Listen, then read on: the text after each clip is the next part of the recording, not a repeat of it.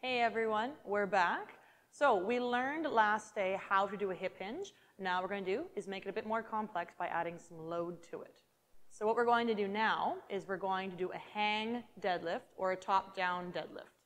With the hang deadlift, we're going to be adding weight. So what we need to do is keep our center of mass close to our body.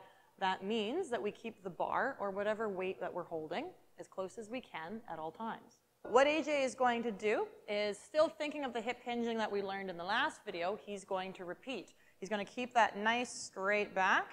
He's going to push his hips back, and he's going to keep his knees from traveling forwards. As he moves, the bar is going to travel in a straight line up and down. If the hips don't move far enough back, the knees are going to be in the way, and that's when we hit the bar with our shins or our knees.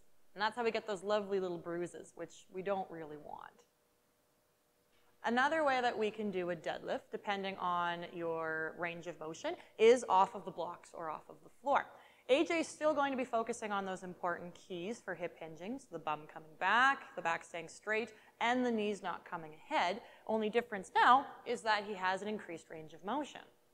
When the range of motion increases, it's really important that we keep that neutral spine and we have stability. If we don't, there's a risk of injury and hurting the lower back. So we've learned how to hip hinge. We've learned how to add weight to it. Now, stay tuned to find out how we can make it more complex by making it more unstable.